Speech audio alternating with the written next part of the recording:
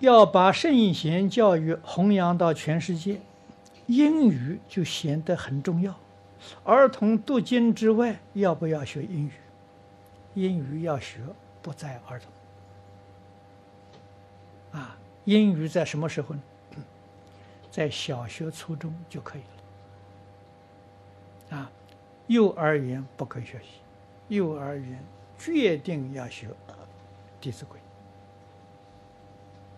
哎，这个做人的根要扎好啊！这个语言，如果小学毕业之后，或者初中毕业之后，啊，到外国去读书，那个语文很容易就学会。